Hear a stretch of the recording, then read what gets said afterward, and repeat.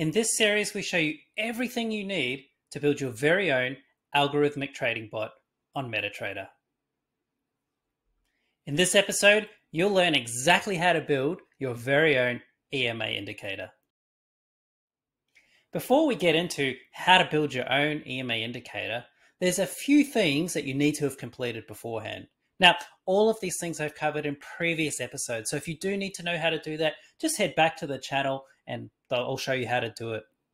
So the things that you're going to need are a connection to MetaTrader 5 in order to get the data. You need the ability to be able to download that data into your Python script. And finally, you need to know how to turn that data into a data frame. When all of that's completed, I'll throw you over to Brad, who'll talk a little bit about what an EMA indicator is and how it's used.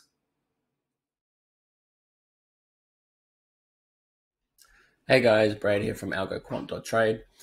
Today we're going to be starting a series on how we create an indicator for MT4 or MT5 using Python.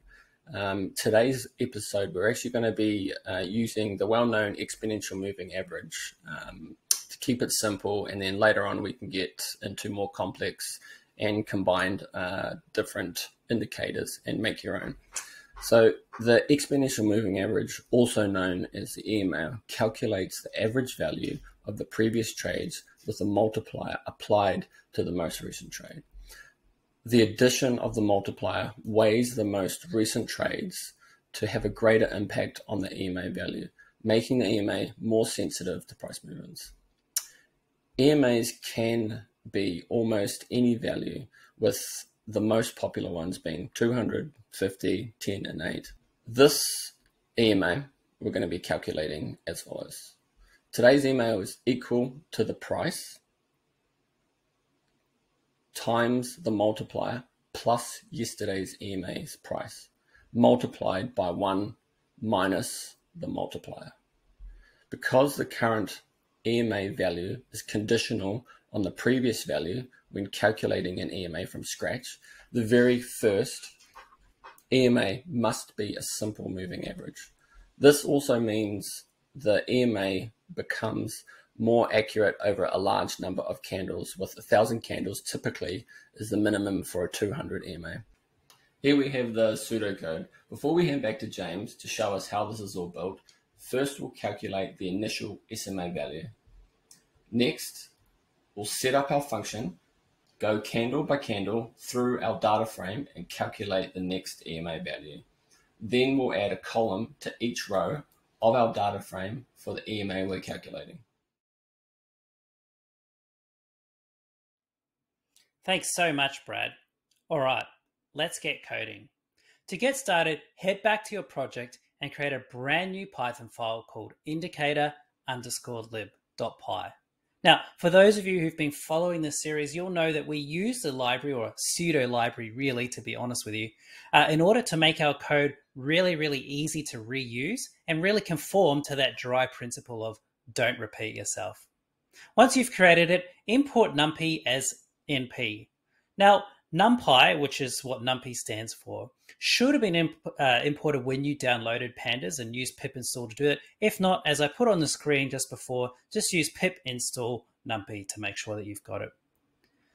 Let's create the function. So I've called my function define calc underscore custom underscore EMA. Now, the reason for this is in other episodes, I'll show you how to use TA lib, which is way faster uh, in order to do this, but it is a little bit complicated to install. So for simplicity's sake, in this particular episode, we're just going to do it ourselves. As I do with all of my functions, I've commented at the top exactly what this function is and how to use it. Um, once again, I'll just reiterate this for those who haven't heard this before. That really helps in a few months when you're heading back to see, you know, what you did and why you did it. Having that comment in there really will help you and save you a ton of time trying to figure it out.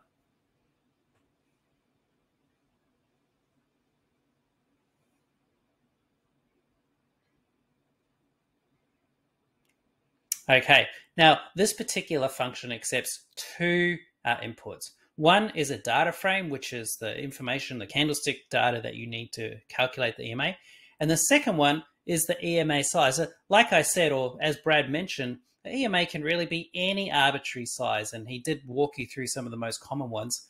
this function allows you to give it any value you want. So if you decide that you want an EMA 9 because that's what your strategy needs, no problem. All you have to do is put in that EMA size is equal to 9 and you're good to go. The function begins by creating a brand new column to add to your data frame that you gave it as an input.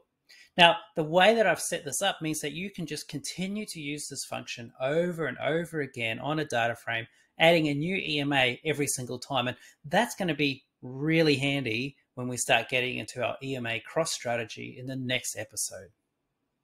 Then we have the multiplier. Now, full disclosure here, typically the multiplier is 2, which I've put in there, but you know, you can use any value that you want. Just be aware that the more you change that value, the more you're changing the weighting uh, of the EMA.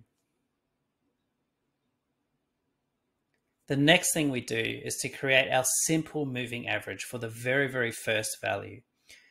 Like was mentioned uh, when Brad was going through the EMA, because of the nature of an EMA and how it's dependent on the previous value, the very first value does have to be an SMA. Luckily, Pandas data frames make this really, really easy to do.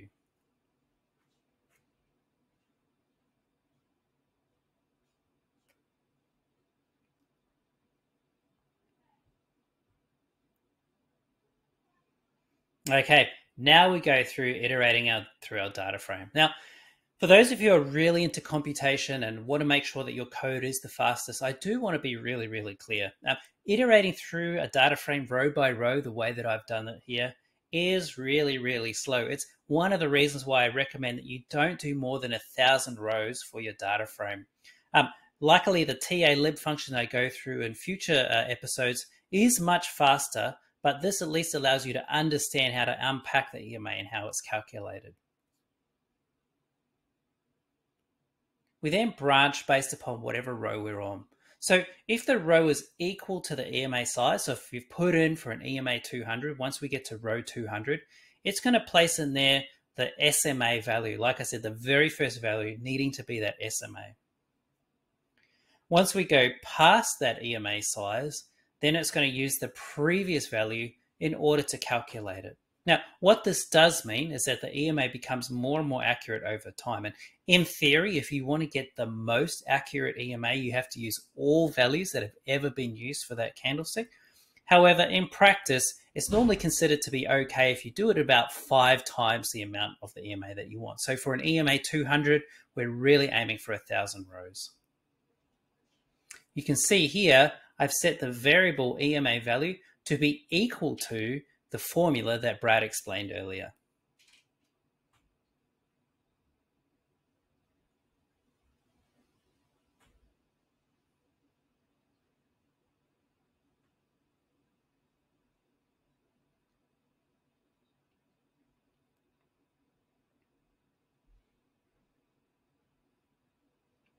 Okay, the next row then sets the current row to be equal to the EMA value that we've just calculated.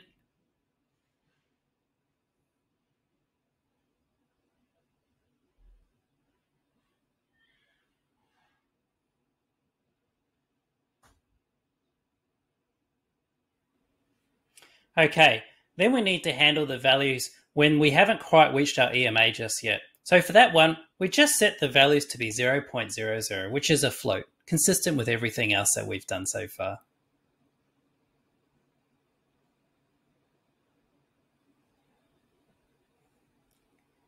Finally, once the function has been completed,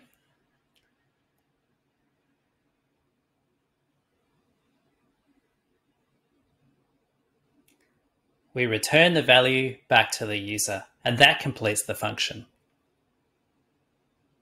Stay tuned to see how we use it in main.py. All right, let's head back to main.py and learn how to calculate a few different types of EMA. The first thing we want to do in main.py is to import our library back into main. So import indicator underscore lib. Then we head back to our double underscore main double underscore and start to calculate our EMAs. Pretty exciting. And we'll use these EMAs in the next episode where we start to talk about an EMA crossover strategy. So let's go through it. And you show I'll show you a few different ways of looking into this. So the first one is we're going to change the number of candles that we're retrieving. Now, you can keep 50,000 if you like, but my experience has been using this very slow iterative method. Um, that 50,000 will take a noticeable amount of time to calculate, so may not be the best for testing. We'll start off by calculating an EMA 50, one right in the middle. It's as simple as passing it the candlesticks data frame that we got earlier and setting it the value 50. Then we print it to the screen. Look at that. We have an EMA 50. You can see there that the first few values are 0.00 as we added, in this case, has added a few extra decimal places. And you can see the whole data frame there because of the pandas.set option uh, that we've got earlier in Paint. Now we're going to have a look at the EMA 20.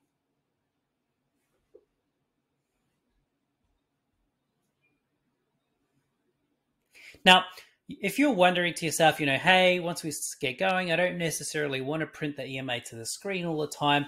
The way to do that is just to remove the print statement, which I'll demonstrate here. So in this scenario, I've passed the EMA 50 back into the function to calculate an EMA 20. So we will have two different rows, uh, the EMA 50 and the EMA 20 going, but I haven't printed it to the screen. So you can't actually see it right now. And that's really handy if you just want to show yourself one data frame right at the end with all of your EMAs calculated.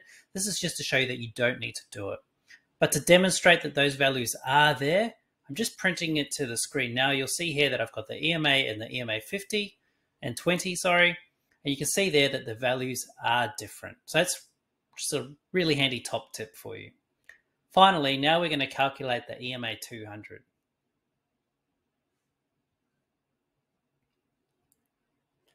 Once again, uh, we pass it the EMA 20 data frame that we've just had. So that has now got a 50 and a 20 on it. And we pass it back into the function, the EMA size of 200.